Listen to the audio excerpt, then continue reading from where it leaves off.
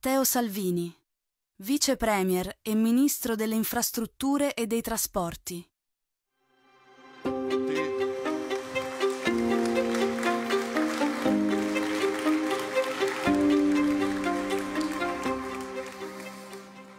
Scusate il ritardo, ero in call sull'agricoltura con Palazzo Chigi per, perché è un tema abbastanza caldo e quindi fra IRPEF agricola, assicurazioni, PAC, direttive europee, emissioni eh, dei bovini, eh, stiamo cercando di aiutare un settore che è fondamentale. Eh, innanzitutto grazie, eh, è una tappa di un percorso con cui stiamo girando da Bolzano alla Sicilia spiegando a un anno e pochi mesi dall'insediamento del governo come stiamo investendo i vostri soldi. Eh, lo ritengo un dovere, non un piacere, eh, andare a Milano piuttosto che a Potenza raccontando che progetti abbiamo trovato, a che progetti stiamo lavorando, a quali priorità stiamo dando seguito, cosa stiamo finanziando.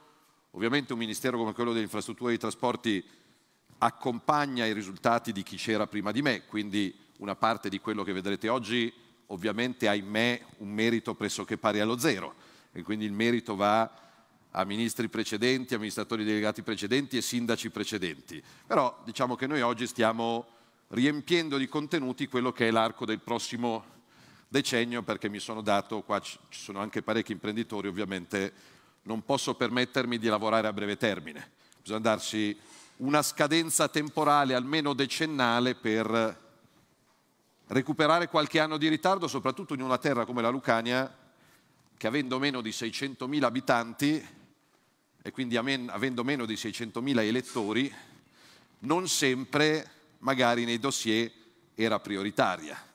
Eh, per quello che mi riguarda io cerco di essere oggettivo ed equo nella distribuzione. È chiaro che qua c'è un ritardo infrastrutturale più pesante rispetto ad altre zone del Paese e l'infrastruttura e la logistica sono industria, sono commercio, sono turismo, sono salute, sono studio, sono sicurezza.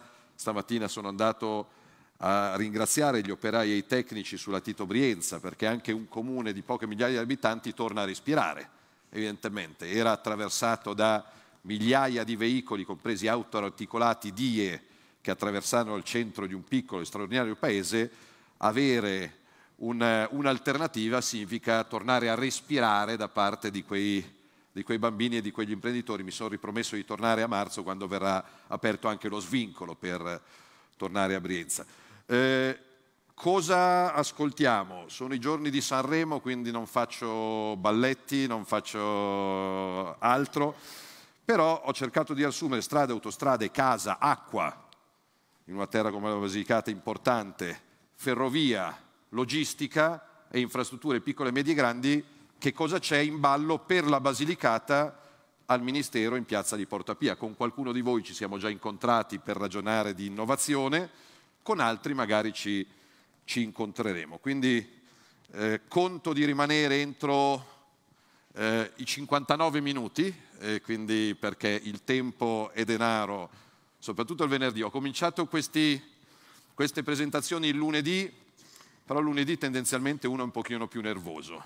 Ho capito che il venerdì, arrivando alla fine del percorso settimanale, magari c'era più voglia di capire e di ascoltare. Quindi eh, ci saranno dei focus nazionali, io ho chiesto ai tecnici che ringrazio, molti dei quali sono qua presenti, dal capo del legislativo all'amministratore delegato di RAM, Pasquale Pepe, che è nello staff che lavora con me a Palazzo Chigi ed è un lobbista per la Lucania di assoluta eccellenza. Ringrazio il governatore, ringrazio il sindaco e gli amministratori locali. Abbiamo dovuto, ecco la soddisfazione che abbiamo dovuto chiudere a un certo punto gli accrediti perché più di un tot qua dentro non ci si stava ed è bello perché eh, le infrastrutture, i trasporti e la logistica non sono qualcosa che di solito eccitano i giornalisti o scaldano i cuori, però sono fondamentali. Io girando l'Italia mi accorgo che se ci sono centinaia di persone che in un giorno lavorativo si prendono una pausa dall'azienda per venire a, a cercare di capire che cosa sta succedendo e cosa succederà, mi dice che eh, siamo sulla strada giusta. Quindi ci sarà un focus nazionale con tempi certi e numeri, con chilometri e budget, non siamo qua, non è il libro dei sogni, è quello che c'è e quello che mi piacerebbe ci fosse, visto che ci diamo come deadline i tre anni e otto mesi che abbiamo ancora di legislatura davanti, più ovviamente processi democratici permettendo anche i cinque successivi per arrivare a compimento a quel 2032 che c'è alle mie spalle. Quindi un focus generale poi con un'attenzione a quello che è previsto per la Basilicata, che penso sia di interesse di tutti voi. Io poi non so dove mi devo mettere per evitare di rompere le scatole, comunque perdonatemi, non, non, non è il mio mestiere venire, venire a presentare. Comunque, eh, partiamo dal tema strade eh, e io ricordo che ogni cantiere significa posto di lavoro. Un miliardo di euro di opere pubbliche significa circa 17-18 mila posti di lavoro. Quindi ogni cantiere sbloccato per me significa avere operai, ingegneri, artigiani, geometri eh, e manodopera con uno stipendio al 31-12. Oggi ANAS ha circa 2.000 cantieri aperti per 4 miliardi e mezzo di budget proprio ultimi, nelle ultime ore. Questa settimana abbiamo perfezionato il contratto di programma ANAS a livello nazionale del triennio che prevede 39 miliardi e mezzo di budget totale, di cui 31 miliardi di nuove opere. Questo è il focus nazionale. Veniamo alla Basilicata. La rete stradale gestita da ANAS è superiore ai 1000 chilometri e a budget per i prossimi anni ci sono 2 miliardi e 8 divisi in 2 miliardi di nuove opere e 870 milioni di manutenzione programmata.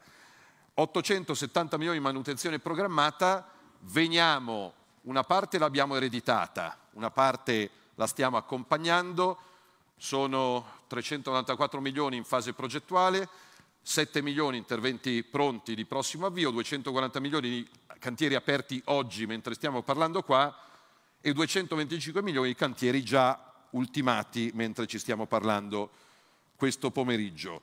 Nel merito, per arrivare al dettaglio, quali sono gli interventi in corso per i 235 milioni di cui sopra in Basilicata, eh, la statale 95, Brienza, dove sono stato stamattina che è ancora in lavorazione, la Bradanica che ha un finanziamento di 77 milioni di euro, questo è quello che c'è in corso, mentre per nuove opere in progettazione ce ne sono 8 di interesse lucano per un miliardo e 700 milioni di investimento eh, complessivo. I progetti eh, che sono già finanziati per un importo superiore ai 600 milioni sono la statale 92 dell'Appennino meridionale, poi l'itinerario Murgia-Pollino nel tratto Matera-Ferrandina per quasi mezzo miliardo. Questo è quello che c'è all'ordine del giorno. Andando avanti, nelle nuove opere in progettazione per quasi 900 milioni di investimento complessivo e poi messo sotto, abbiamo messo eh, il finanziamento sotto ogni voce, perché ho letto che qualcuno dice Salvini verrà a presentare... No, queste non sono fantasie, quindi qua ci sono nomi, cognomi, indirizzi e codici fiscali, quindi non veniamo a vendere quello che non abbiamo in tasca. E qua c'è Salerno Potenza Bari, la Potenza Melfi, ancora Murgia Pollino in un altro tratto in due diverse diramazioni. Questo è quello che abbiamo trovato e stiamo preparando Statale 95, ripeto, mi piace farlo vedere perché ci siamo stati proprio questa mattina.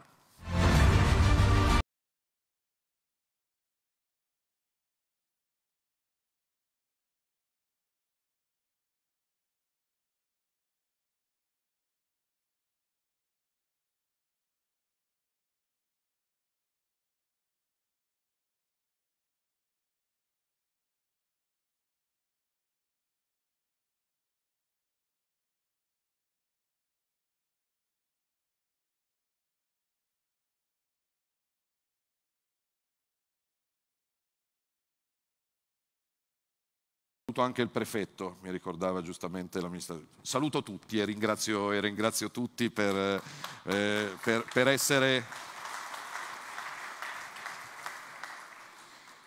La Basilicata ha il vantaggio di avere due sole province, però ovviamente bisogna essere assolutamente equi rispetto alle due province, perché so bene che la competizione, la sana e onesta competizione fra il Potentino e il Materano ovviamente merita un assoluto e totale equilibrio, già che siamo venuti a Potenza, eh, però vediamo di essere rotondi da tutti i punti di vista. Dalla statale 95 a un'altra statale, la eh, 18, perché qua c'è un sistema di monitoraggio e un eh, sistema anche di sicurezza. Ovviamente noi stiamo lavorando alle nuove opere con una particolare attenzione non solo alla sicurezza sui cantieri, ma alla sicurezza della percorrenza per gli anni a venire, quindi ci tengo a far vedere anche quello che è in corso sulla Tirrena inferiore.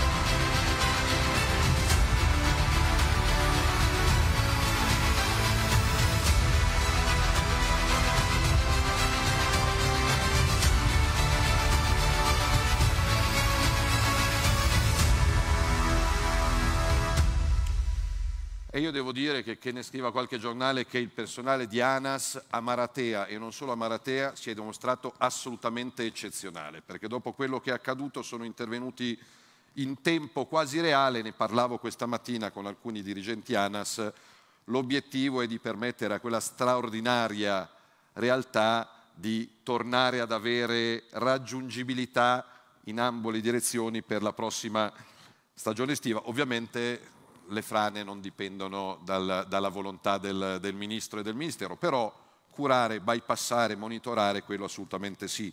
Dipende da noi, passiamo dalla Tirrena inferiore, chiudiamo con l'ultima, la 658 Potenza Melfi. Io stamattina ho fatto in macchina da Roma a Potenza e stasera farò in macchina da Potenza a Bari, quindi quello di cui sto parlando è qualcosa che ho assolutamente ben chiaro in testa.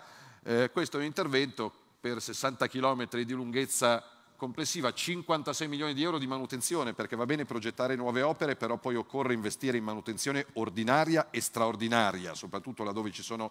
Noi purtroppo abbiamo il record europeo di viadotti e gallerie, per come siamo orograficamente conformati e quindi è chiaro che non basta progettare il nuovo, ma devi recuperare la manutenzione che sul vecchio non sempre è stata attenta. Abbiamo aggiunto 10 milioni di euro come investimento aggiuntivo nel 2024 eh, più altri 40 per l'ampliamento della carreggiata. Questo è un breve focus, poi non sono entrato in progetti minori.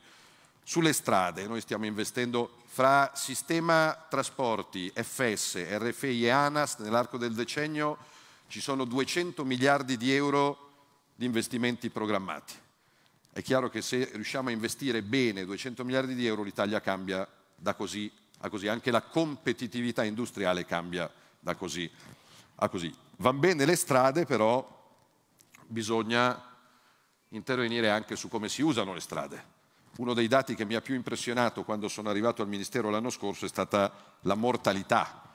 3.159 morti sulle strade italiane nel 2022, adesso aspettiamo il definitivo 2023, la prima causa di mortalità per i ragazzi fra i 15 e i 24 anni sono gli incidenti stradali, quindi va bene progettare nuove strade, però abbiamo preso in mano un codice della strada che datava 1992 nella sua stesura originaria, le strade del 92 di Potenza non sono le strade del 2024 di Potenza, quindi è in commissione proprio in questi giorni il bello della democrazia prevede che ci siano più di 700 emendamenti presentati e li stiamo analizzando ovviamente uno per uno. Il nuovo codice della strada conto che diventi norma entro la primavera.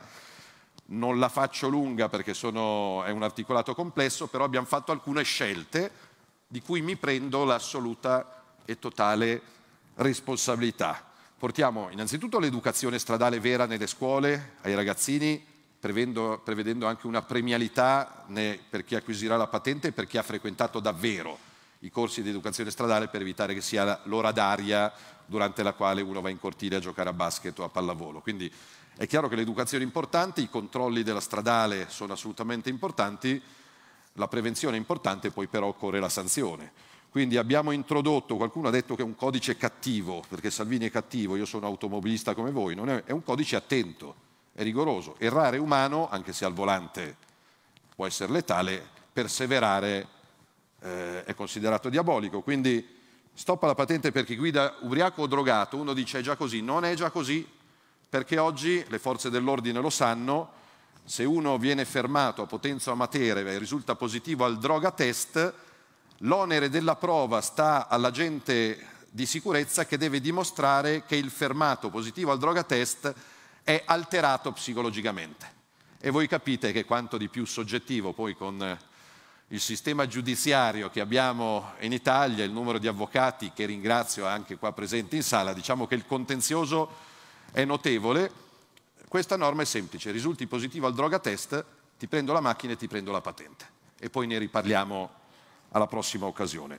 Per i recidivi ubriachi che causano incidenti e mortalità abbiamo copiato, perché copiare quello che funziona all'estero è anche sintomo di intelligenza, il sistema che inibisce l'avvio del motore che si chiama alcol lock, obbligatorio per i recidivi con l'eccesso di alcol. Non abbiamo toccato le soglie di, di, consumo alcolico perché vanno bene quelle che ci sono già, quindi è, è, chiaro ed evidente che il bicchiere di aglianico che ho bevuto oggi a pranzo, dal mio punto di vista, dal punto di vista di tanti medici, fa bene alla salute, il quinto bicchiere eh, rischia di essere un problema. Come tutto è una questione di, di quantità e di buonsenso.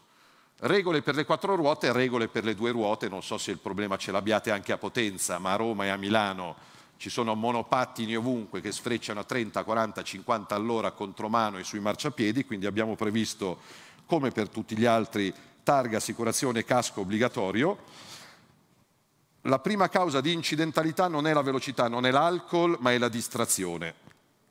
Qua mi attirerò l'antipatia di qualcuno, però 5 secondi per fare mente locale ciascuno nel, nella propria autovettura.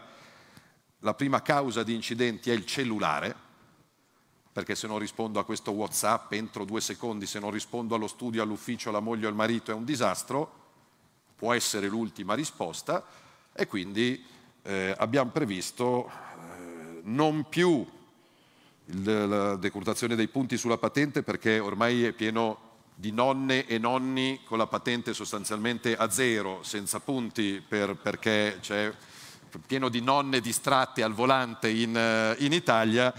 Abbiamo previsto la sospensione breve della patente a livello educativo. E devo dire che i dati della Polizia Stradale di questo 2023 sono incoraggianti perché il solo aver dibattuto in questi mesi di maggiori controlli e sanzioni ha portato a una riduzione del 7 e dell'8% degli incidenti e dei morti e dei feriti. Spero che sia un trend che poi si va a confermare. Per quello che riguarda i giovani, di questo ho discusso con mio figlio ventenne, però ritengo che sia giusto per i primi tre anni di patente il divieto di guidare auto di grossa cilindrata perché il papà che ti mette in mano il Ferrari pensando di fare una cosa intelligente rischia di fare qualcosa di assolutamente dannoso e poi c'è il tema di cui sto dialogando con i sindaci dell'autovelox.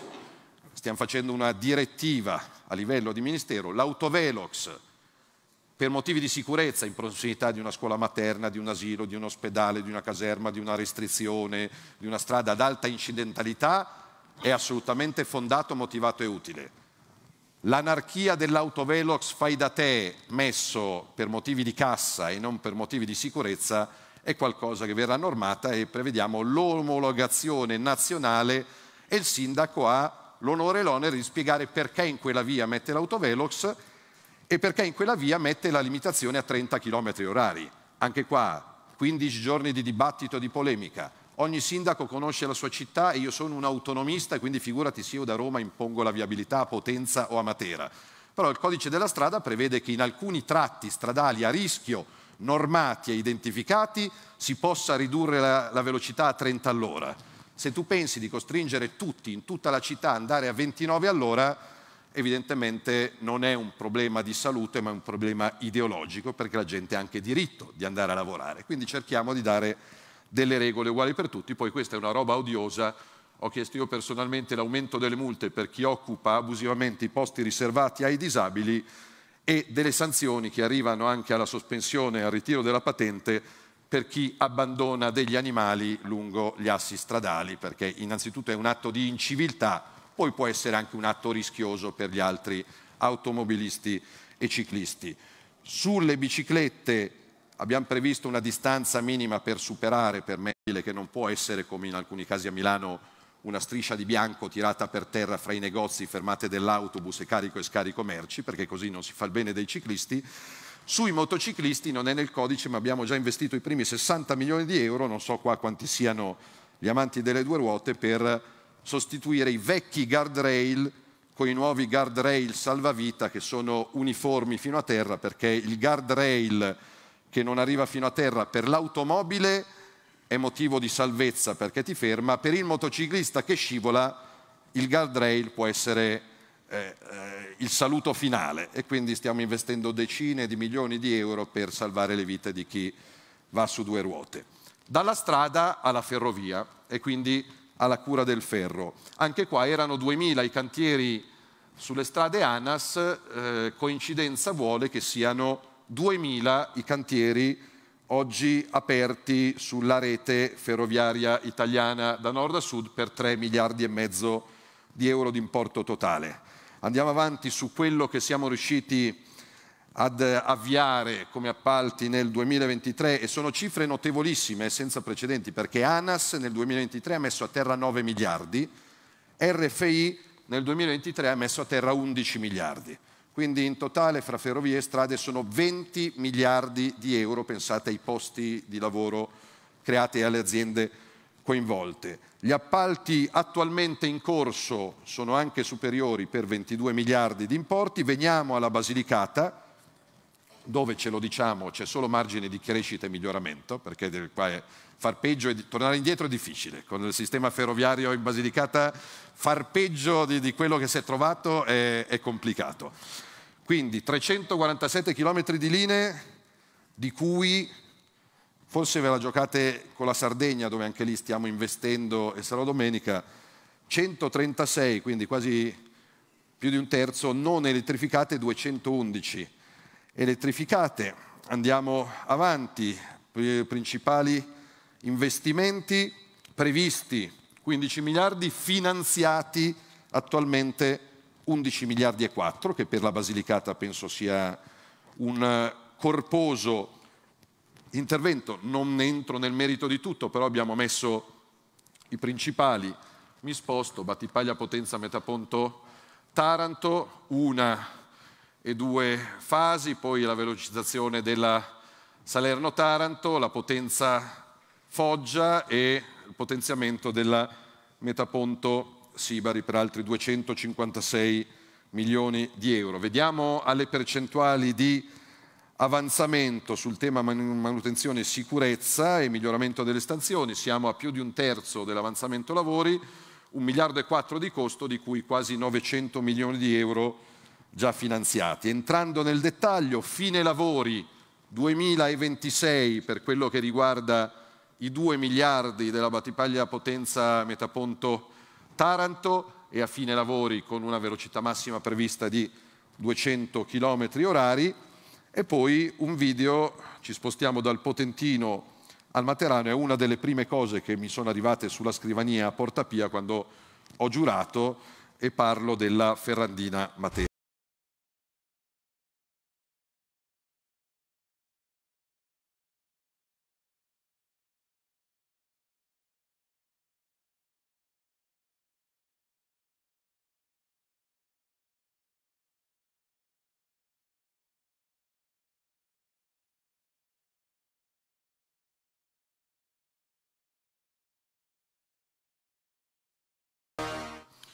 Il cronoprogramma prevede 20 km di linea elettrificata, 429 milioni di euro di investimento complessivo e anche qua, come sopra, fine lavori 2026. Poi attenzione, Covid, guerra in Russia, guerra in Medio Oriente, caro energia, caro materie prime, qua chi lavora in edilizia sa di che cosa stiamo parlando, sperando che non ci siano incrementi miliardari sui piani economici su cui siamo andati ovviamente a gara, però io sono ottimista per natura, quindi questa è la situazione. Quindi strada, codice della strada, ferrovia, un'altra delle competenze su cui ho posto particolare attenzione instaurando una direzione ad hoc è quello della casa, dell'edilizia, perché è un'emergenza. L'ultimo piano casa risale agli anni 70 come organicamente previsto. Abbiamo già fatto le prime due riunioni del piano casa al Ministero creando quattro sottocommissioni con le cooperative, con le società di costruzione, con gli affitti, insomma con tutto il mondo che si occupa di edilizia,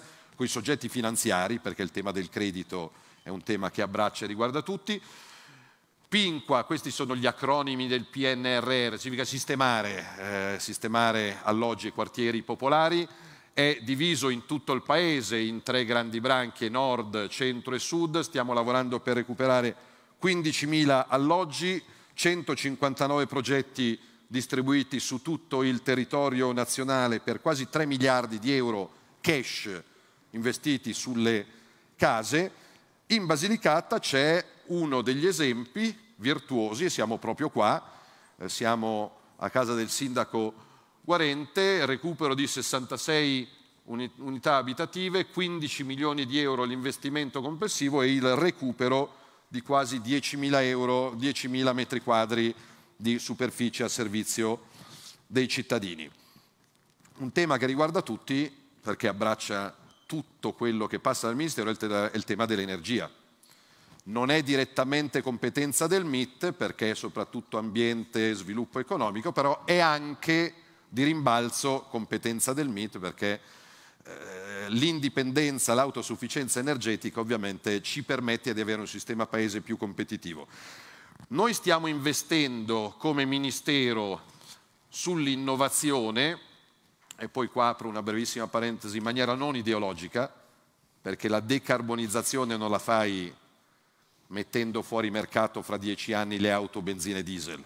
Quella non è decarbonizzazione, quello è un suicidio economico che avvantaggia la Cina e mette in ginocchio il sistema produttivo italiano ed europeo.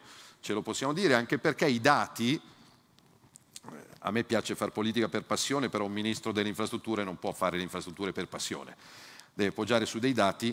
Oggi dal pozzo alla ruota, quindi nell'intero sistema ciclo produttivo, un'auto elettrica prodotta oggi, con i sistemi energetici di oggi, emette più CO2 di un'auto diesel.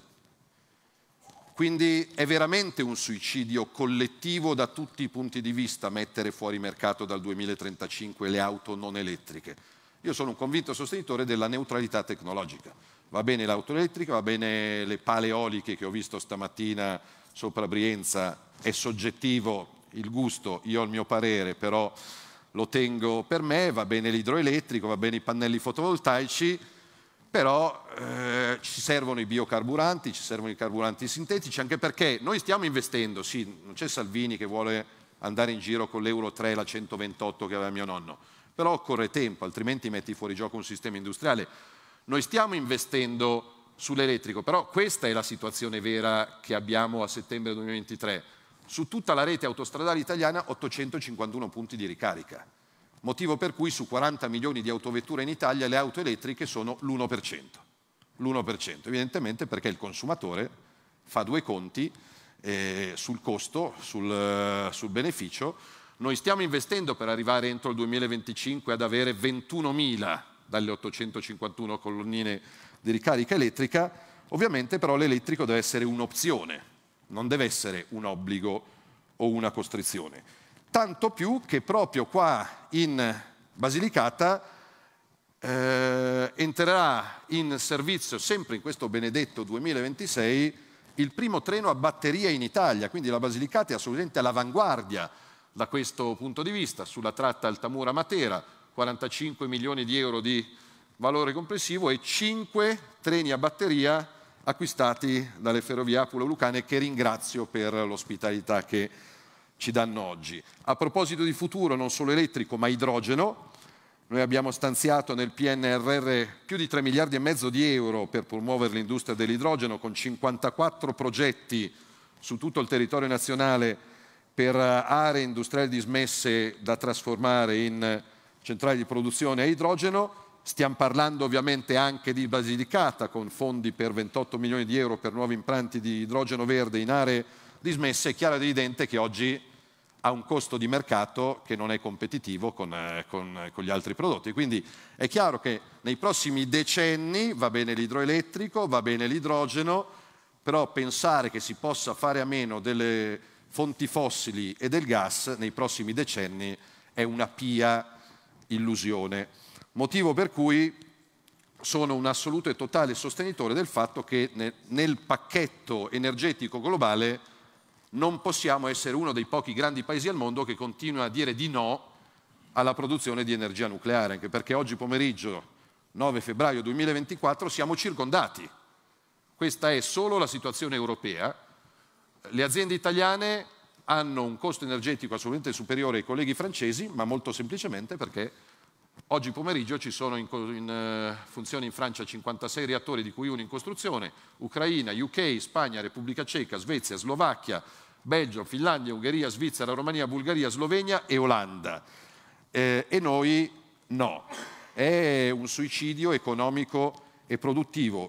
A livello mondiale i paesi più importanti del mondo hanno fatto una scelta chiara. Stati Uniti 93, Cina 55, Russia 37, Giappone 33. Quindi io mi domando se non sia il caso nell'anno 2024 di riportare l'Italia nel contesto dei paesi moderni, civili, sviluppati, anche perché l'energia nucleare, secondo i dati della Commissione europea, che ha ricompreso il nucleare nella tassonomia, ovvero sia nelle fonti finanziabili, riconosce nel nucleare la fonte energetica di produzione più sicura e meno costosa per quello che riguarda i reattori di ultima generazione. Quindi da questo punto di vista io sono assolutamente un sostenitore della necessità che l'Italia si aggiunga ai 32 paesi sviluppati al mondo che producono più del 10% dell'energia con questa forma di produzione assolutamente sicura che non è alla Chernobyl, per, per intenderci. Dall'energia all'acqua, che è un'altra fonte di produzione energetica importante, io da ministro ho l'onore di presiedere la cabina di regia a Palazzo Chigi per l'emergenza idrica, quindi stiamo, per la prima volta abbiamo fatto un piano idrico nazionale, abbiamo raccolto entro il 30 ottobre domande da tutta Italia sulle necessità idriche, dall'acquedotto alla diga, alla perdita, per, per ragionare a lungo termine, perché altrimenti a luglio c'è l'emergenza siccità, corri dietro l'emergenza siccità, ad agosto c'è un'alluvione, corri dietro l'emergenza alluvione. Quindi sto cercando al Ministero di fare un piano economico a medio-lungo termine per mettere le risorse senza inseguire il contingente. Sono in corso, cent... noi abbiamo centinaia di dighe sotto il controllo del Ministero delle Infrastrutture e dei Trasporti e l'acqua è fondamentale per l'agricoltura, per l'industria e per l'uso civico, evidentemente. 182 interventi in corso, più di 2 miliardi stanziati di cui 839 milioni per la riduzione delle perdite nelle reti e io pensavo che fosse soprattutto in alcune zone del paese la perdita da rete è equamente divisa a livello nazionale anche in Trentino, c'è il 40% di perdite dalla rete idrica. Certo, ci sono alcune realtà come la Puglia dove la situazione merita ancora più attenzione rispetto ad altro, però stiamo intervenendo eh, ovunque. Andiamo pure avanti. In Basilicata ci sono 21 interventi programmati 214 milioni di investimento complessivo. Tenete presente che io sono entrato in ufficio, noi abbiamo giurato il 22 ottobre dell'anno scorso, quindi un anno e tre mesi, ho trovato 117 opere commissariate e quando trovi 117 opere commissariate per emergenza vuol dire che la norma non funziona perché se ti crolla il, il ponte Morandi è un imprevisto e quindi commissario straordinario per ricostruire in fretta e furia il ponte però se il commissariamento non è un'eccezione, ma è la regola, evidentemente c'è qualcosa che non funziona nella norma a monte e quindi siamo intervenuti sul codice degli appalti. E quindi questo l'ho fatto assolutamente con gioia e il monitor quando sente il codice degli appalti si deprime, si deprime, si spegne, è controllato da, da qualche sindacato il monitor, quindi il codice degli appalti a qualcuno non piaceva e quindi ha detto io questo non glielo faccio, non glielo faccio dire, però eh, vado anche a voce, non, eh, poi se torna bene, se non torna va bene lo stesso. Noi arriviamo, ci insediamo a ottobre, troviamo una bozza di codice degli appalti redatta dal Consiglio di Stato, poi questo è un governo politico, io sono un ministro abbastanza politico, è chiaro che il ministro delle infrastrutture ascolta tutti, e un viadotto non è di destra o di sinistra, una galleria, un ponte, una diga e, e i sindaci che incontro spesso e volentieri li incontro in ufficio non sapendo neanche eh, di quale amministrazione facciano parte, perché se un sindaco, mi ricordo quando mi chiamò il sindaco di Maratea per la frana, per me è il sindaco di Maratea, poi se è di qua, di là, civico, sopra, sotto, a me interessa, interessa men che zero. Però abbiamo dato un'impronta di cultura politica al codice degli appalti. Prima prevaleva il pedissequo rispetto della procedura, noi abbiamo deciso di mettere in testa il raggiungimento del risultato, che per un appalto è l'apertura del cantiere e la fornitura del servizio. Quindi abbiamo tagliato quasi un anno di tempo burocratico scommettendo sui sindaci e sulle imprese. Qualcuno, non faccio nomi e cognomi, la CGL e l'ANAC hanno detto così favorisci i corrotti e i corruttori. Io penso che la storia dica esattamente il contrario. Più lungo è l'iter burocratico dell'appalto, più uffici l'imprenditore deve girare, più purtroppo è facile durante uno, due, tre anni che il corrotto incontri il corruttore. Se invece di girare dieci uffici ne devi girare due, tu vedi che la voglia di qualcuno di ungere passa in seconda fila. Questo vuol dire che se qualcuno sbaglia, giù mazzate. Però per evitare che uno su cento mi freghi, complicare la vita agli altri 99, non fa sviluppare il Paese. I dati dicono che stiamo avendo ragione. Abbiamo messo risultato, fiducia, libero accesso al mercato, liberalizzazione degli appalti, digitalizzazione completa della vita dell'appalto, che è il massimo della trasparenza. Ho chiesto di mettere anche la salvaguardia del Made in Italy e quindi, siccome chi ha un'impresa deve la 626, le norme ambientali, le norme sindacali, eh, il trattamento dei dati, abbiamo previsto una premialità per chi usa materie prime che arrivano da paesi che rispettano quello che rispettano gli imprenditori italiani. Mi seccherebbe fare il ponte sullo stretto di Messina andando a prendere acciaio e, e cemento che arrivano da paesi dove magari non, non, ci sono le norme sindacali o ambientali e i costi relativi che ci sono nelle nostre industrie. Abbiamo dato fiducia ai sindaci dei comuni piccoli e grandi.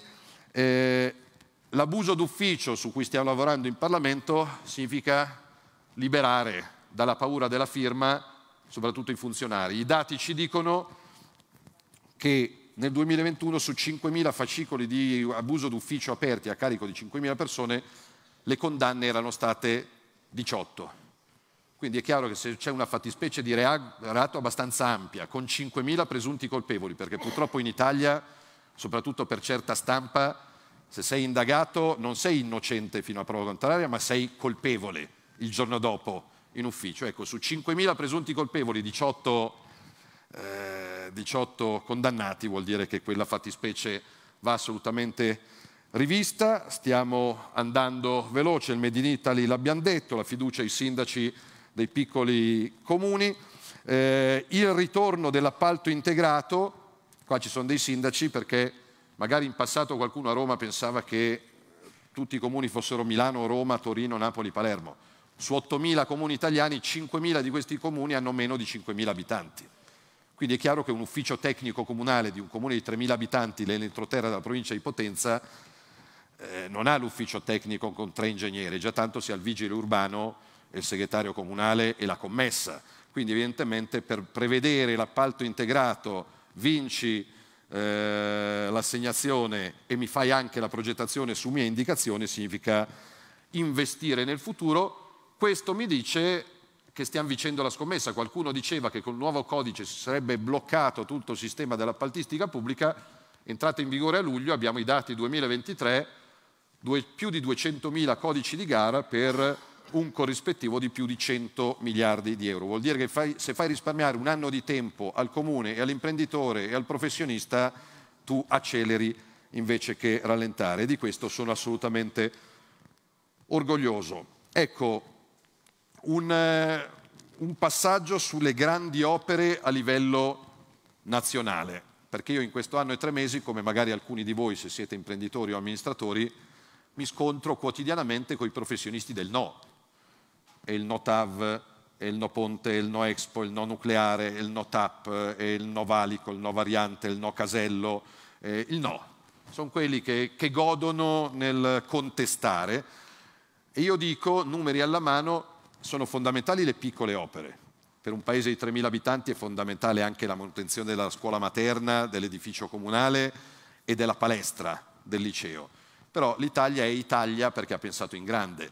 I nostri genitori nel, do- nel secondo dopoguerra hanno disegnato e costruito l'autostrada del Sole, 800 km in otto anni. Anche allora, io mi sono letto la documentazione, c'erano i no autostrada del Sole, siamo agli anni 50, non cambia la storia perché qualcuno diceva non servirà a nulla, non la userà nessuno. Ecco, oggi pensare a un'Italia senza autostrada del Sole è, è semplicemente follia. Ecco, noi stiamo portando avanti alcuni grandi progetti che qualcuno in passato ha provato a fermare, che però dal mio punto di vista e dal punto di vista oggettivo e numerico stanno salvando il Paese. Il primo di questi grandi progetti non è esattamente vicino a Potenza e Matera, ma qualcosa che sta proteggendo uno dei gioielli riconosciuti nel mondo all'Italia. Le sono state girate nel centro storico di Venezia, dove i danni sono incalcolabili.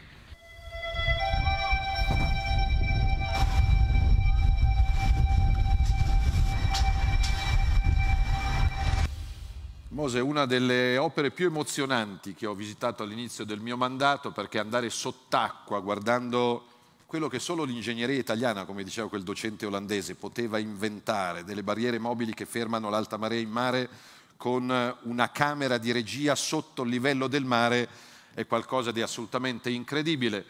Quattro barriere, 78 paratie che fermano un innalzamento del livello del mare fino a 60 centimetri corrispondenti a maree alte fino a 3 metri e i sostenitori del non funzionerà mai nel 2023 sono stati smentiti non una ma 25 volte. Pensate al danno economico eh, il Mose è costato, sì. Pensate solo ai, al di là del danno turistico, del danno culturale, la Basilica di San Marco, il danno commerciale, ma pensate a a quanto ci sarebbe costato in termini di risarcimento e di assicurazione per 25 volte solo nel 2023 Venezia sott'acqua. Quindi se ragioni in grande arrivi a grandi risultati. Se ragioni in piccolo nel nome del, di un proverbio che, che abolirei, che il chi si accontenta gode, evidentemente non arrivi da nessuna parte.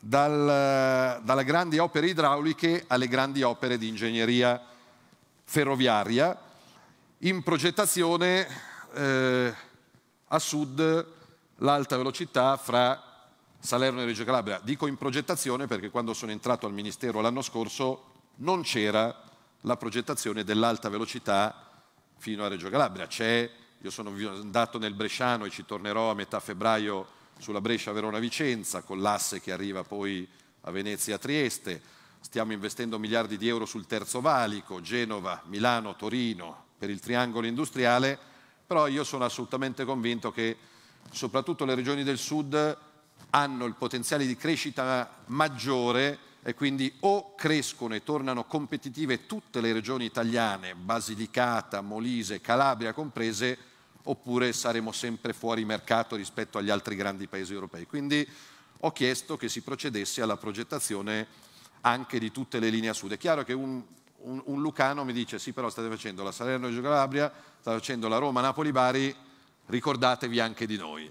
E quindi sulla cartina geografica che ho in ufficio è chiaro che sto investendo sull'asse nord-sud, sto investendo sull'asse ovest-est, stasera vado, vado a Bari e a lavori ultimati il treno sarà una vera alternativa su Bari-Roma. Oggi Bari-Roma o la fai in aereo o la fai in aereo.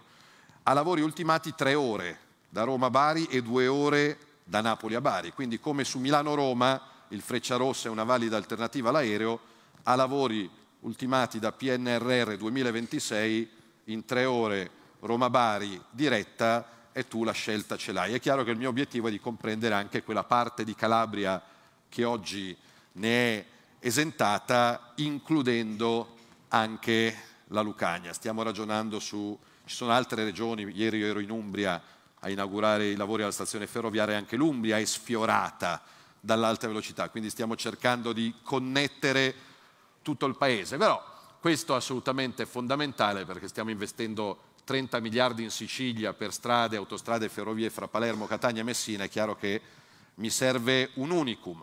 Quindi questo significherà 200 chilometri 13 miliardi di euro di investimenti, velocità massima 300 km orari e c'è il primo lotto e sono i primi 35 chilometri eh, in lavorazione, fine lavori 2026 da PNRR sulla Battipaglia Romagnano e come dicevamo questa è la decarbonizzazione vera, non l'auto elettrica a tutti i costi, la cura del ferro, la cura dell'alta velocità, alta velocità Roma-Palermo che è la prossima slide, al di là dei 3.000 posti di lavoro creati, 21.000 tonnellate all'anno di CO2 non emesse, a fine lavori questo è l'obiettivo.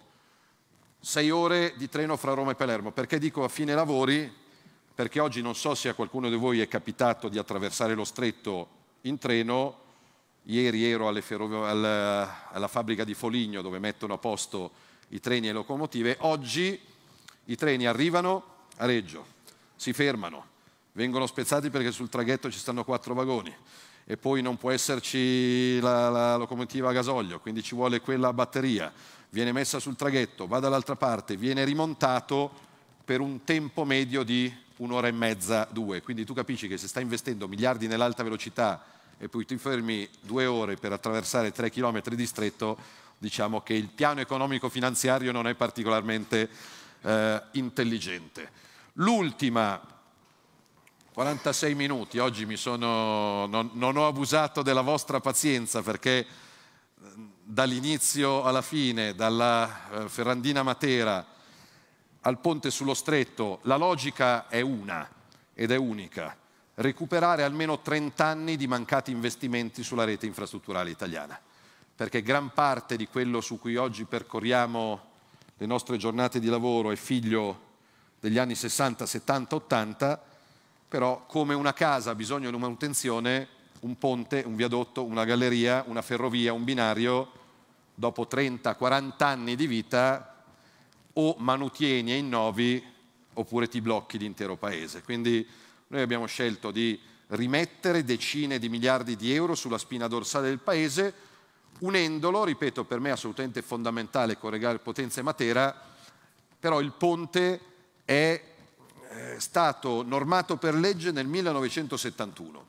Noi stiamo lavorando su tutta, sulla TAV, l'alta velocità per arrivare in Francia velocemente, la Galleria del Brennero, che è un tunnel ferroviario più grande in lavorazione in questo momento, a lavori ultimati 2032 in 25 minuti da Fortezza in provincia di Bolzano a Innsbruck, andando a 250 all'ora sotto le Alpi, che sono robe inimmaginabili. Però c'erano 5 milioni di cittadini italiani che da 50 anni aspettavano questa benedetta continuità territoriale. È chiaro che avevano...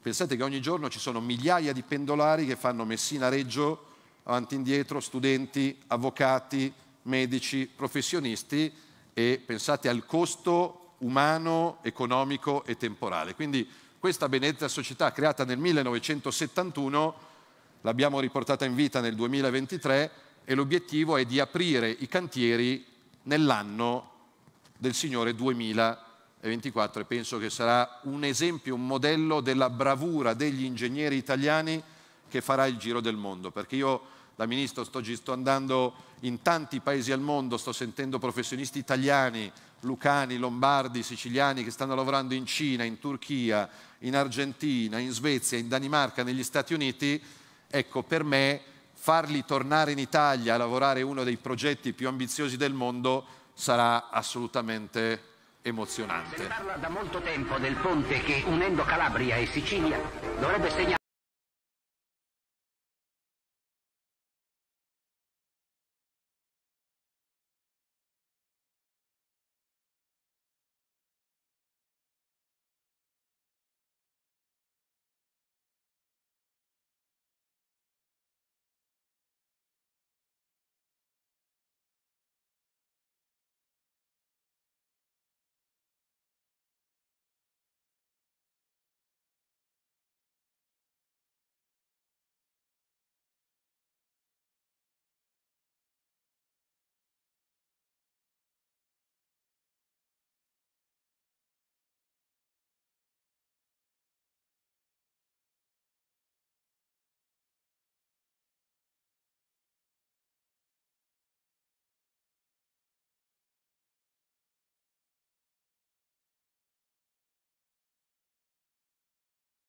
E questo nella settimana in cui il Consiglio di amministrazione della città Stretto di Messina il 15 febbraio approverà il progetto definitivo e, e sarà un passo in avanti. Tenete presente che nella società che parteciperà alla costruzione del ponte ci sono eh, giapponesi, ci sono spagnoli, ci sono danesi, la società di progettazione di ingegneria eh, di consultor è americana, quindi è un trust assolutamente internazionale, però oh, ragazzi, eh, oggi, stamattina leggevo venendo in, nel breve viaggio in macchina Roma-Potenza che c'è in lavorazione il ponte più lungo del mondo in Cina, Messina Style. Ecco, eh, da quest'anno verranno dalla Cina eh, a studiare a Messina il ponte a campata unica più lungo al mondo, che è questo. Non so, vabbè.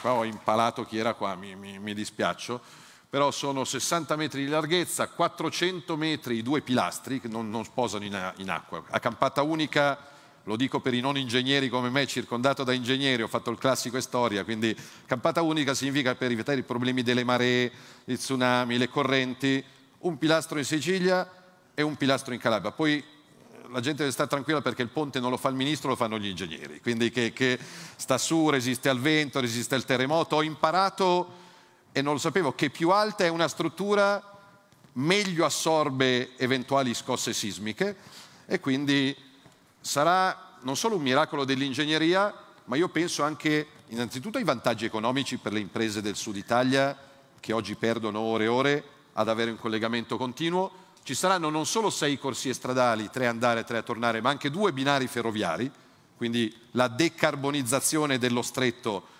passa da lì. Queste sono stime vecchie che sono in corso di aggiornamento, però per darvi l'idea di quanto eh, torniamo un attimo indietro. Avete sentito prima che c'era uno del Mose che diceva il Mose non serve, non funzionerà mai. Ecco, lo vorrei qua oggi per un dibattito pubblico. Anche oggi c'è chi dice ma il ponte non serve, chi, chi mai lo userà. Queste sono stime del passato. Pensate alla differenza fra migliaia di traghetti che emettono, inquinano e fanno avanti e indietro e di avere 6.000 veicoli ora e 200 treni giorno che invece di metterci due ore ci mettono un minuto e mezzo, cioè ti cambia la vita di tutta l'impresa economica del mezzogiorno del paese e pensate anche all'indotto turistico, perché io in primis da turista quando vado in un paese al mondo, quando vai a San Francisco, quando vai a Istanbul, quando vai a Copenaghen, quando vai in Cina, c'è il ponte famoso. Quando uno va a Parigi non può non andare alla Tour Eiffel che fu messa lì eh, e doveva rimanerci per poco per l'Expo. E oggi una Parigi senza la Tour Eiffel no, uno non la pensa. Ecco, io penso che l'immagine del ponte, oltre a servire economicamente e ad avere una riduzione di impatto ambientale, sarà anche un'immagine turistica per cui stiamo ragionando anche di come valorizzarla. I dati economici sottostimati mi dicono che gli occupati già nel primo anno di cantiere, quindi in questo 2024 saranno almeno 10.000, 300 imprese coinvolte, il bello è in tutta Italia. I dati di una società terza di consulenza Open Economics, se qualcuno vorrà curiosare e googolare, Open Economics Ponte, distribuiscono regione per regione, Basilicata compresa, l'indotto economico positivo in termini di occupazione e di incremento del PIL della realizzazione del ponte e pensate che la prima regione italiana, secondo i dati di, di Open Economics, ad avvantaggiarsi per maggior crescita del PIL è la Lombardia. Quindi è qualcosa di cui beneficia tutto il paese, Basilicata ovviamente compresa, l'abbiamo interamente finanziato, per non fare le robe all'italiana, mettiamoci lì una fiche e poi vediamo cosa succede. Indietro non si torna perché l'avanti e indietro ci dà poca serietà a livello internazionale e il no degli ambientalisti è assolutamente surreale, perché non occorre un ingegnere del Politecnico per intuire che se invece di migliaia di traghetti che mettono in acqua e nell'aria tu hai auto veloci e treni veloci, questa è sottostimata a 140.000 tonnellate di CO2 in meno emesse nell'aria e farò di tutto perché l'Italia da quest'anno possa andare orgogliosamente con la più grande opera di ingegneria in costruzione in questo momento al mondo.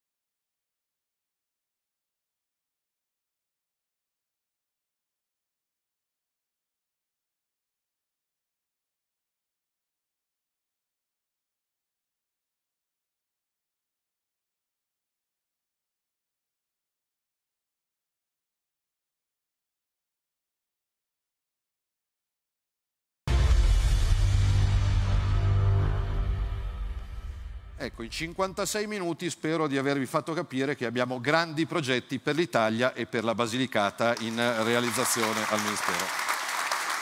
Grazie.